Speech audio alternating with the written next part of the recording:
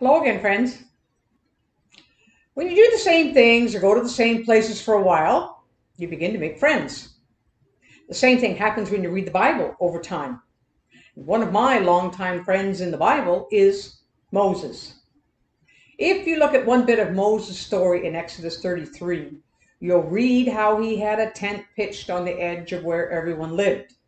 Moses would go there to talk to God and hear what God had to say. Here's part of one conversation. One day Moses said to the Lord, You've been telling me, take these people up to the promised land, but you haven't told me whom you will send with me.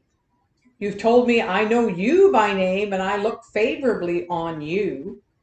And if it is true that you look favorably on me, let me know your ways so I may understand you more fully and to continue and continue to enjoy your favor. And remember, that this nation is your very own people.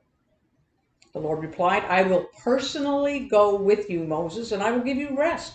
Everything will be fine for you. And then Moses said, If you don't personally go with us, don't make us leave this place. How will anyone know that you look favorably on me, on me and on your people, if you don't go with us? For your presence among us sets your people and me apart from all other people on the earth. The Lord replied to Moses, I will indeed do what you have asked, for I look favorably on you, and I know you by name. Wow, what a moment! Like Moses, we need God's personal presence with us if we're to go forward and make any kind of positive impact on others. Let's pray for that, shall we? Lord, we want to know your ways so we understand you more fully and continue to enjoy your favor. With Moses, we say today that if you don't personally go with us, how can we go forward?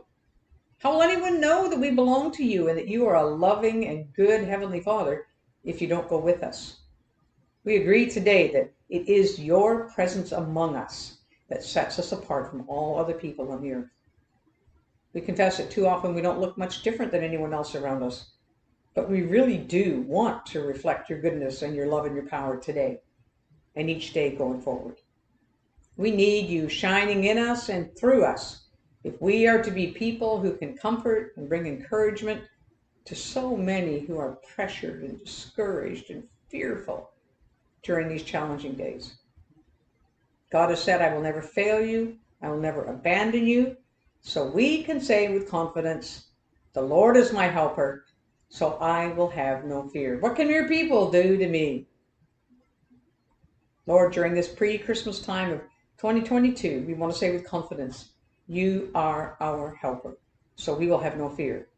We choose to face today and each day, putting our hand in yours and trusting you to take us forward, surely, safely, and in the way you know we should go. Amen. Well, I want to do today with God, don't you? Let's have a great day.